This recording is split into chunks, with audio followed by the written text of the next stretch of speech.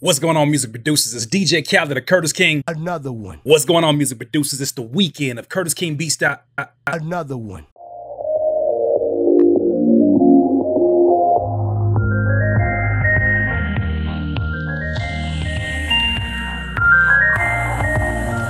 What's going on, music producers? It's Curtiss King at CurtissKingBeats.com, and I'm here today to show you the guilt-free way of using melodic loops from Splice. Yes, I'm going back on my word. So I got an apology for Cassius Jay. Music producers, a few weeks ago I did a video Okay, hold on. That basically was a reaction video to a producer named Cassius Jay. Cassius Jay showed his formula for making 10 beats a day by using melodic loops on Splice and basically just kind of bringing sounds together, some from track outs from other producers, and making pretty much his own composition with these sounds. Now, initially when I saw that, I was like, nah, fam, that can't be the way that we making music now. And then he said straight up, he said, man, this is trap music. And so I thought about it and I still was like, hell no. And in that video, I declared, I will never use melodic loops in my life. I play my own keys. I'm completely original. I don't want to hear nothing somebody else played and North Dakota. And then I thought about the contradiction of my ways. It got me thinking, damn it, have I turned into the OG that is stubborn about my creative process? I want to let you know that over the last few weeks, I've been doing some soul searching, specifically on splice.com. And I came across some beautiful, oh glorious, beautiful piano loops and Rhodes. The first thing that came to mind was the same thoughts that I used to have when I was a what? A sample producer. And then I started thinking, okay, what are my major problems with using melodic loops? The first thing being, well, every other producer has access to it. As if producers didn't have access to the very same Diana Ross samples that I was using? Well, it's not original. Well, how original was sampling? What made it original? What made it original was my chops. Another one. The effects that I added over it. Another one. And pretty much the manner in which I repurposed it for my beats. Another one. So why couldn't I do that with somebody else's piano loop or Rhodes that happened to be on a splice MIDI loop? What a contradiction I am. How can I sit here and talk about Cassius Jay process of taking melodic loops, repurposing them, and then inverting the loops, and I was pretty much doing the same thing when it came to drum loops or even sample loops. What's the difference? One was made in 2008 18. The other one was made in 1942. So I'm better? Somebody gonna have to tell the truth, and I'm gonna tell it. It's time for me to call myself on my own bull. Another one. I'm using melodic loops. And that being said, I think I found a few ways for me to basically use these melodic loops without feeling so ugh inside. First things first, here we are in FL Studio. Here's the piano loop that I found off of splice.com, which by the way, go use my affiliate link down there because whenever y'all sign up and use my affiliate link, your bands gets 100 credits and I get to spaz out on some drums and now melodic loops. Anyways, back to the sample. So I drug this particular melodic sample right here on the playlist. This is what it sounds like.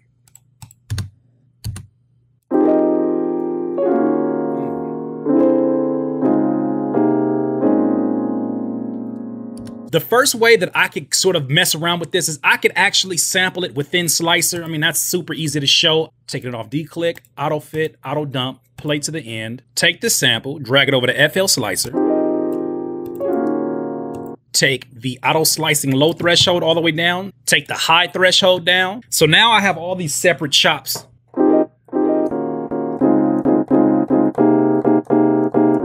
so I can play them in different orders, and I don't feel so bad about this. Then again, I know it's one of y'all out there. I don't know which one it is. All thirsty on the keyboard, probably gonna say something like, well, it still sounds like the original. I say, shut up, watch this. Take the pitch wheel, pull that down to about 400.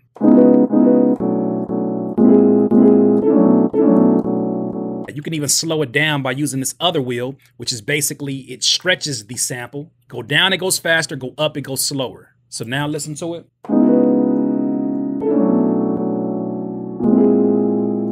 So that's if you want to chop the actual master recording of that original sample. Go ahead and do that. You can put your own variations on that. I guarantee you, if you get creative enough, it won't sound like anybody else who has access to this particular sound. Now, the next way and the way that I'm super, super excited to show you how to vary up and to have a guilt-free process when you're using these melodic loops is basically do this. First of all, we still got this loop open. We're going to drag this all the way here, and this is actually in the same BPM as our session, which is 130. We drag that, loop it around.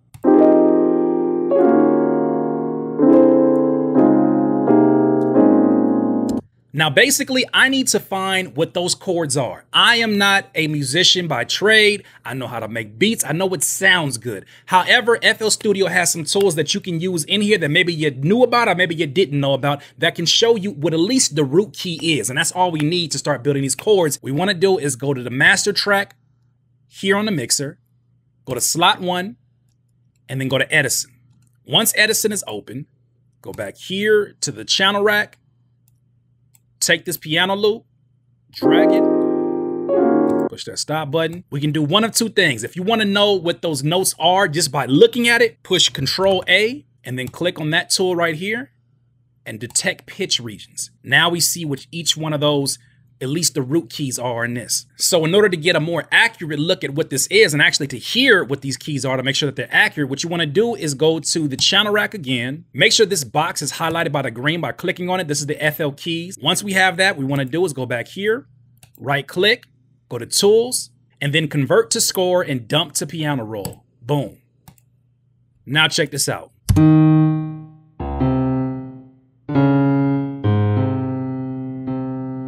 Now we got to go ahead and toy around with this. Go ahead and listen to what I'm doing. We're going to find these right keys. Check it out.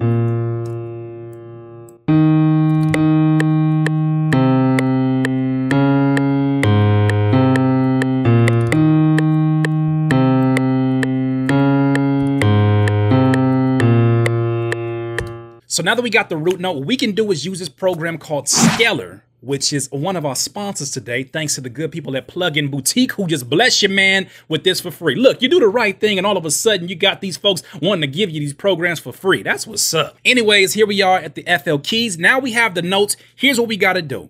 We're going to take this and first of all, see if it's accurate because we want to do is basically go to the playlist. This is pattern one. Let's go back here to the view playlist and drag it and see if it's accurate. And the way that I would do that is basically take it an octave down and then compare it to the sample we have.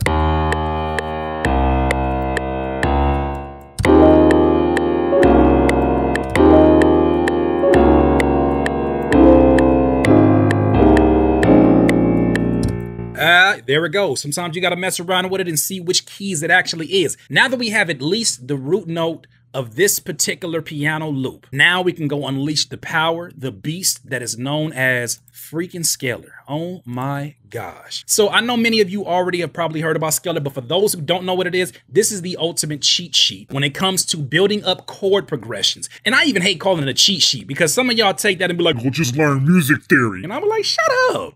You just go make a beat. Stop trying to tell everybody what to do with their life. So basically, Scaler is like imagine that you have a chord helper for every single step of the process that you're making a beat. So as you have these root notes right here, imagine there's a plugin that can basically detect those notes and then show you possible scales and possible chords that will fit along with what you're trying to do. Even give you a hint what scale would work best based upon the mood that you want to have. Let's stop talking about it. So first and foremost, let's get familiar a little bit with Scaler. Now it tells you detect. It has a detect feature that basically will detect those root notes, those keys that we just had. It'll detect the notes first and then it'll start generating some scales and chords for you. What? Yes. Let's go back here to the pattern mode.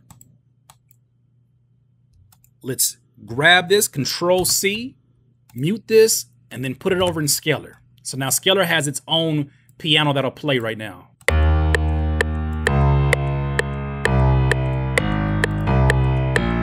So that's Scaler that's playing it, has its own piano. Now that we have the keys that we detected from FL Studio, what we want to do is use a detect feature on Scaler. So go to Start, and then once you start playing, it's going to automatically recognize the keys. Watch this.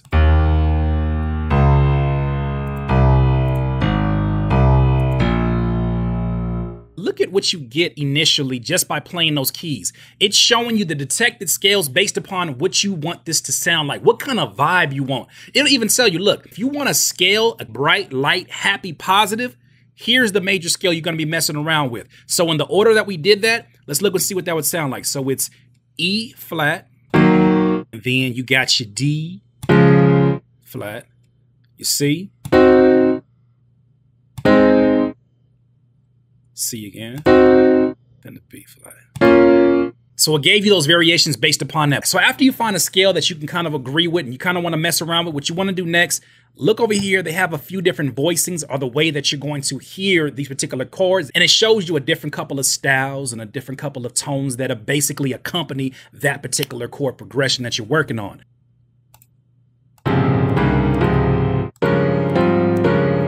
Then we need to go up an octave.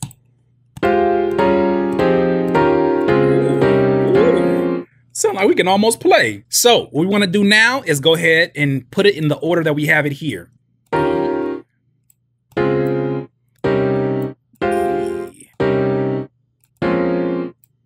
So now that we drug these particular chord progressions, check what we got.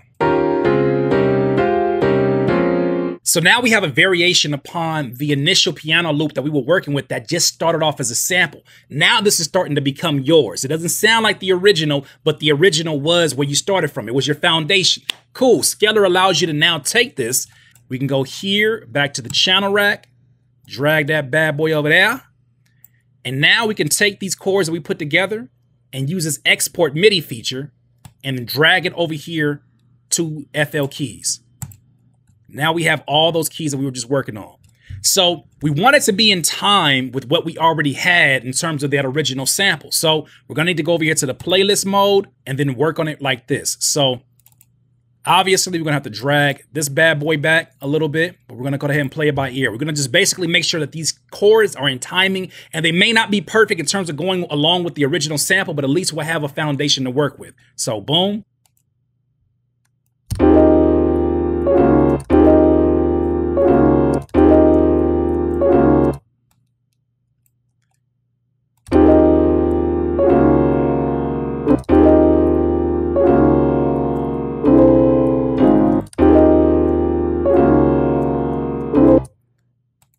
Mute the scaler. Scaler's still playing, my bad.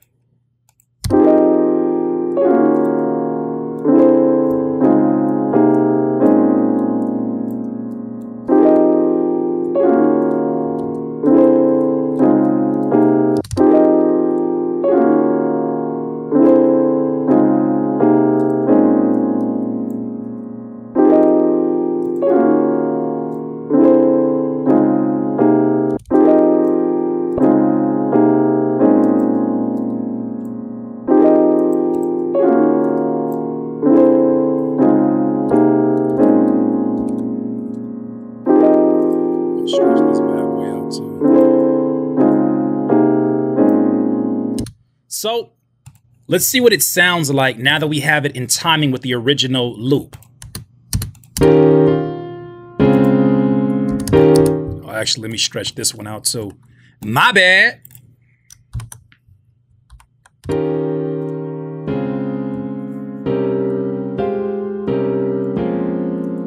Now it's not perfect, but what we can do is keep messing around with it.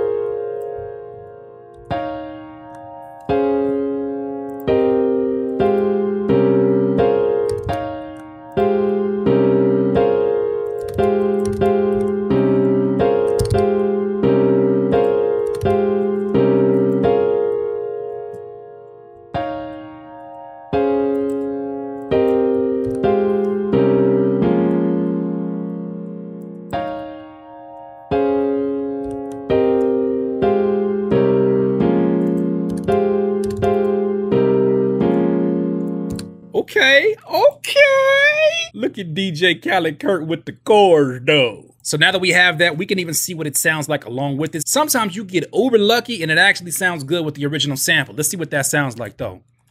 This might sound like poop, so please excuse me if it's stinking here.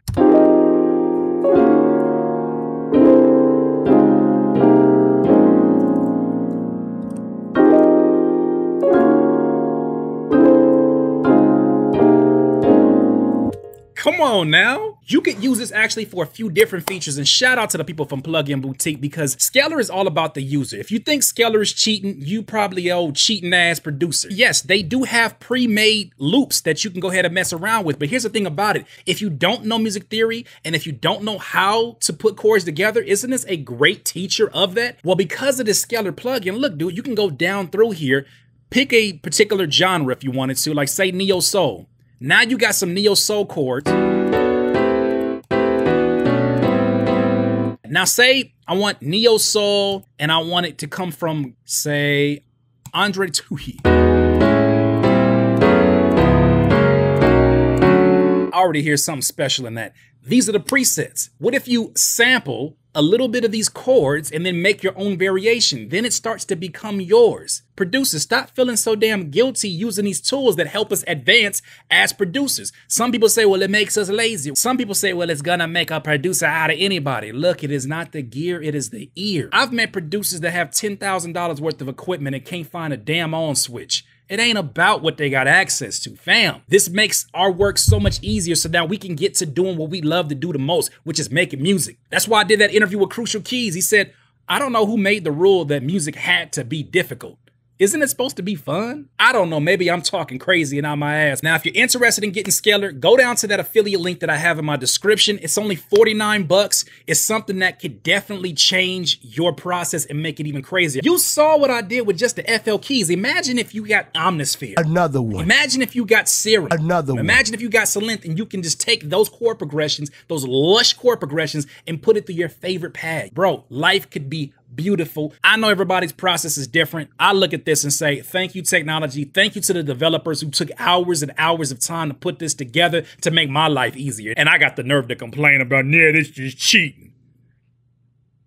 Plugin is in the eye of the beholder, my friends. Stop letting these producer rules rule your life. Have fun. Get back to doing what you're doing. I've changed my stance. Yo, Cassius Jay, I am sorry, my friend. Although I have no reason to make 10 beats a day, these melodic loops that I'm finding may be the best thing that has ever happened to me and my lack of melodic game. Stop complaining. Take the technology for what it is. If you don't want it, leave.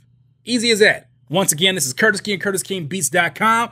Peace. Please subscribe to the channel below, Curtiss King, CurtissKingBeats.com.